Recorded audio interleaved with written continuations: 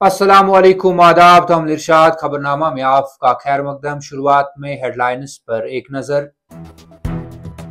अजीम कौम के नौजवान होने के नाते इन्हें विकसित भारत दो हज़ार सैतालीस के विजन को पूरा करने में अपना हिस्सा डालना चाहिए। मैं पुख्ता यकीन रखता हूँ कि तालीम का मकसद सिर्फ़ नंबर और दर्जा बंदी तक महदूद नहीं ये बेहतर इंसान बनाता है, मनोज सिन्हा।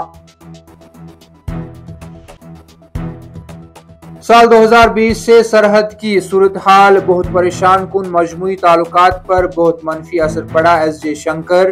भारत और चीन के माबीन रिश्तों की बहाली के लिए कोशिशें जारी, एतमाद और आमादगी पैदा करने में वक्त लगेगा।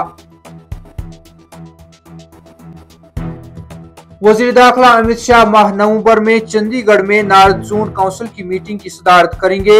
जम्मू कश्मीर और पंजाब की सरहद से मुतलिक मसाइल पर गौर किया जाएगा। दीगर कुछ अहम मामला पर भी बात होगी।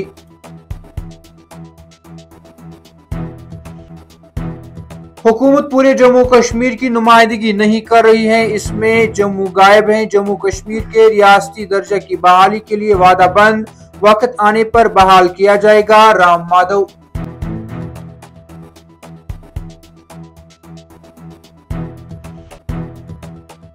खुश्क मौसम श्रोताल वादी कश्मीर सर्दी की लपेट में उनतीस अक्टूबर को टनल के आर पार हल्की बारिशों और बर्फबारी का इम्कान, महकमा मौसमियात।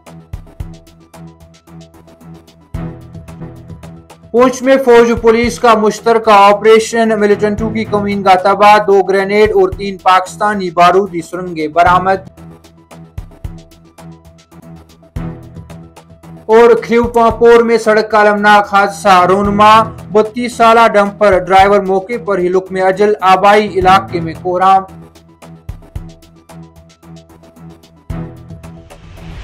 अब पेश इन खबरों की तफसील। इस अजीम कौम के नौजवान होने के नाते इन्हें विकसित भारत दो हज़ार सैतालीस के विजन को पूरा करने में अपना हिस्सा डालना चाहिए पर ज़ोर देते हुए लेफ्टिनेंट गवर्नर मनोज सिन्हा ने नौजवानों पर ज़ोर दिया कि वो आज के मुतहरिक मुसाबकती माहौल और ज़िंदगी में नए मकसद के तयन के लिए इलम के प्लेटफार्म से फ़ायदा उठाए।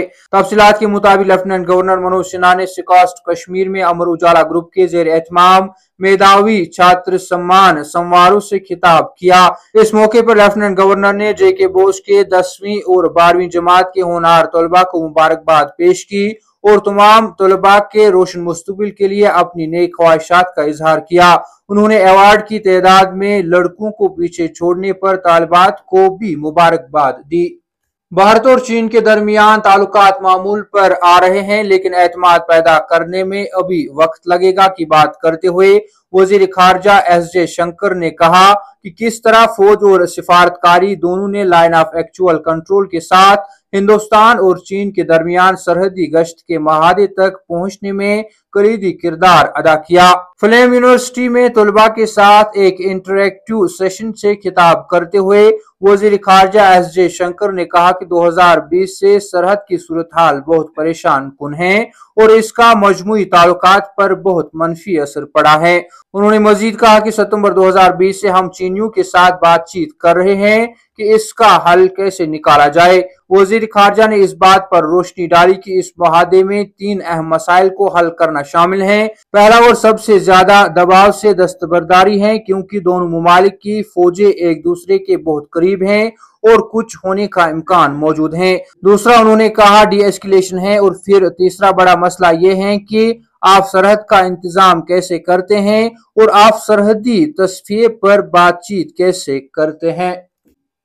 वज़ीर अजम नरेंद्र मोदी की क्यादत वाली मुसलसल, तीसरी सरकार में पहली बार वज़ीर दाखिला अमित शाह अगले माह चंडीगढ़ में नारद जोन काउंसिल की मीटिंग की सदारत करेंगे। इसी दौरान जम्मू कश्मीर में नई हुकूमत की तश्कील के बाद ये पहली मीटिंग होगी और इसमें वज़ीर अला उमर अब्दुल्ला की शिरकत मुतव है। सरकारी जराये ने बताया कि इस मीटिंग की मेजबानी हरियाणा हुकूमत कर रही है। इनके अलावा लद्दाख के lieutenant governor brigadier retired BD Mishra भी मीटिंग में शिरकत करेंगे। पिछले साल यह मीटिंग अमृतसर में हुई थी और इसकी मेजबानी पंजाब हुकूमत ने की थी। अहदेदारों ने कहा कि रुकन रियासतों और मरकज के जेर इंतज़ाम इलाकों बशमूल जम्मू कश्मीर, लद्दाख, हिमाचल प्रदेश, हरियाणा, पंजाब, नई दहली और राजस्थान से मुतलिक तमाम मसाइल मीटिंग में सामने आएँगे। जिसकी तारीख को हतमी शक्ल देना अभी बाकी है, लेकिन ये माह नवंबर के आखिरी हफ़्ते में मुनद की जाएगी। हुकूमत पूरे जम्मू कश्मीर की नुमाइंदगी नहीं कर रही है और इसमें जम्मू गायब है का इंकशाफ करते हुए बीजेपी के सीनियर लीडर राम माधव ने कहा कि जम्मू कश्मीर के रियासी दर्जा की बहाली के लिए वज़ीर दाखिला और वज़ीर आज़म दोनों ने वाजिया कर दिया है। कि जम्मू कश्मीर को रियासत का दर्जा मिलेगा। अंग्रेज़ी रोजनामा द इंडियन एक्सप्रेस के साथ एक खसूसी इंटरव्यू में बीजेपी के सीनियर लीडर और जम्मू कश्मीर के लिए असम्बली इंतबात के इंचार्ज राम माधव ने कश्मीर से हुक्मरान जमात नेशनल कॉन्फ्रेंस के मैंडेट को मायूस कुन करार देते हुए कहा कि वो सिर्फ़ वादी की हिमायत से हुकूमत बनाने में कामयाब हुई हैं। राम माधव ने कहा कि लोग न सिर्फ़ हमारी बात सुनने के लिए तैयार हैं उनमें से कुछ वोट देने के लिए भी आगे आते हैं। हमें अब उन ताकतों पर काम करना है। दिन में खुली धूप निकलने और मौसम खुशक रहने की वजह से दर्ज हरारत में काफ़ी कमी रिकॉर्ड की गई है, जिसके नतीजे में सर्दी की लहर में इजाफा देखने को मिला है। महकमा के मुताबिक दर्ज हरारत में कमी होने के साथ ही पूरी वादी सख्त तरीन सर्दी की लपेट में आ चुकी है। उन्होंने बताया कि वादी के साथ साथ लद्दाख खिताबी शदीद सर्दी की लपेट में है। तर्जमान के मुताबिक जम्मू खिताब में भी दर्ज हरारत में काफ़ी गिरावट आई है। इधर महकमा मौसमियात ने वादी कश्मीर के मौसमी हालात में उनतीस अक्टूबर को तब्दीली आने के इम्कान ज़ाहिर करते हुए बारिशों और बर्फबारी की पेशन गोई की है। महकमा के मुताबिक मगरबी हवाएँ जम्मू कश्मीर में असर अंदोज हो रही हैं, जिसके नतीजे में पीर पंजाल के आर पार बारिशों और बर्फबारी का ताज़ा सिलसिला शुरू होने के इम्कान हैं। महकमा मौसमियात ने बताया कि 28 अक्टूबर तक मौसम मजमू तौर पर खुश्क रहेगा, जिसके बाद 29 अक्टूबर को पीर पंजाल के आर पार हल्की बारिशों और बर्फबारी का ताज़ा सिलसिला शुरू होने के इम्कान हैं। जुनूबी कस्बा पापोर के ख्रीव इलाके में सड़क के एक हादसे में बत्तीस साल ड्राइवर लुक में अजल बन गया। तफसीलात के मुताबिक, ख्रीव मंडकपाल इलाके में इतवार की सुबह उस वक्त हादसा पेश आया, जब एक ट्रक ड्राइवर के काबू से बाहर हुई और गहरी खाई में जा गिरी। एन शाहिदीन के मुताबिक डंपर के ड्राइवर ने गाड़ी पर कंट्रोल खो दिया जिसके नतीजे में हादसा पेश आया, जिसमें वो शदीद जख्मी हो गए।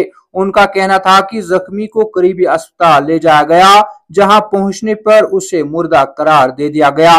गाड़ी के ड्राइवर की शनाख्त बत्तीस साल के आदिल अहमद वानी के बतौर हुई है। पुलिस के एक सीनियर अफसर ने इसकी तस्दीक करते हुए बताया कि इस मामले की नस्बत मुतल पुलिस स्टेशन में केस दर्ज कर ली गई है और मामले की मजीद तहकीकात जारी है। तामलिशात खबरनामा में आज के लिए इतना ही। कल फिर से मुलाकात होगी। तब तक के लिए अल्लाह हाफिज।